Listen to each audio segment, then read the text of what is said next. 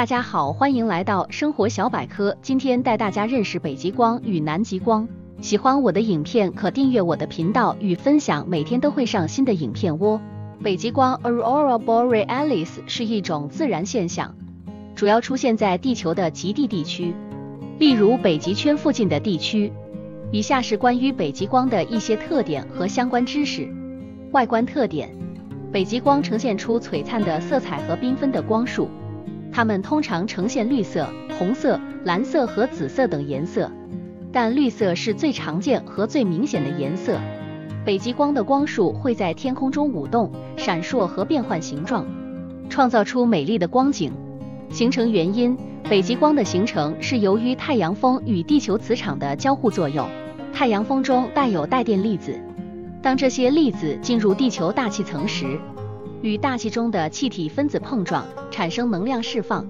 这些能量释放形成了光的现象，即北极光。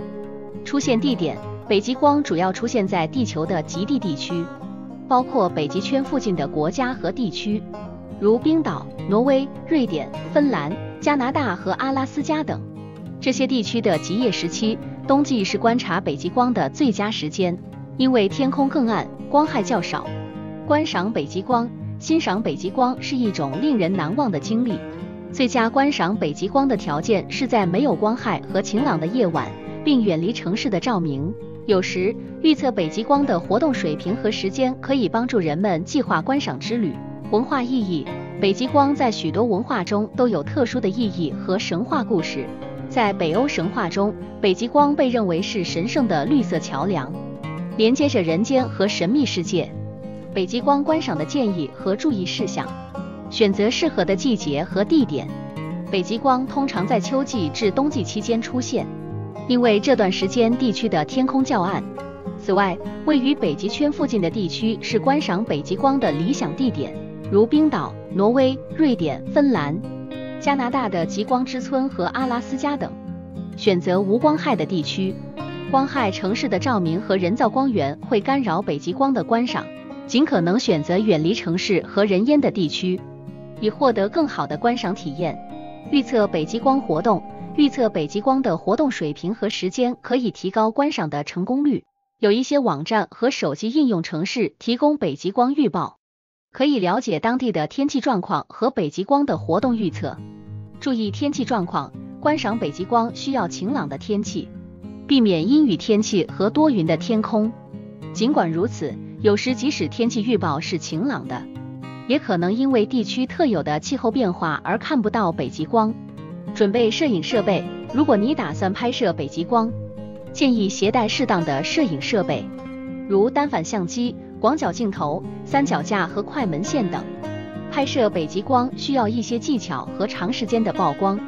重要的是要注意，北极光是自然现象，无法保证在每次观赏时都能看到。它的出现取决于多种因素，包括太阳活动水平、地磁场状态、天气条件等。因此，观赏北极光需要有耐心和一定的运气。南极光 （Aurora Australis） 是类似于北极光的自然现象，出现在南极地区的天空中。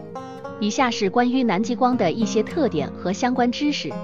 外观特点：南极光和北极光类似，呈现出璀璨的色彩和流动的光束。南极光通常呈现绿色、红色、蓝色和紫色等颜色，与北极光相似。它们的形状和运动方式也可以与北极光相媲美，创造出美丽而神秘的光景。形成原因：南极光的形成过程与北极光相似，是由太阳风与地球磁场的交互作用引起的。太阳风中的带电粒子进入地球大气层，并与大气中的气体分子碰撞。释放出能量，形成光的现象。出现地点：南极光主要出现在南极圈附近的地区，包括南极洲及其周围的海洋地区。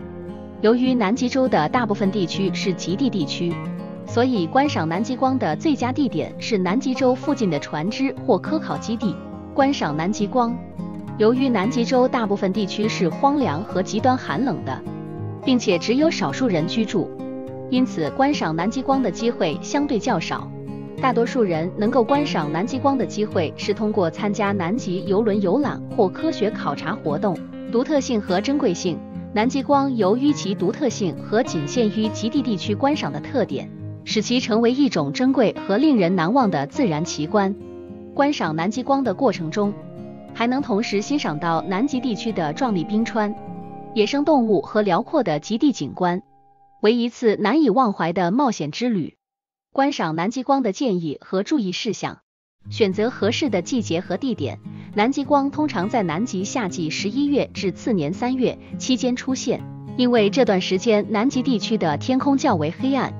选择参观南极洲附近的地区，如南极半岛、福克兰群岛等，这些地区提供了观赏南极光的最佳机会。注意天候条件，观赏南极光需要晴朗的天气和无云的夜空。南极地区的天气极度变化多端。因此，天气状况的不确定性可能会影响南极光的观赏机会。选择合适的天气窗口，增加观赏成功的可能性。低光污染环境，远离光害和人烟的地区是观赏南极光的理想场所。南极洲的大部分地区人烟稀少，提供了较佳的观赏条件。远离人造光源，例如城市的照明，可以增强观赏南极光时的视觉效果。长时间的黑暗。南极洲的夏季有极长的日照时间，这意味着天空不会完全黑暗，进而影响南极光的观赏。为了更好的观赏南极光，选择适当的时间，即在日落后和日出前的时段，以获得较长的黑暗时间。持续观察和耐心，南极光的出现是一种自然现象，并不是每个晚上都能见到，需要持续观察和耐心等待。有时需要多次尝试才能欣赏到明亮且壮观的南极光。以上感谢您的收看，再见。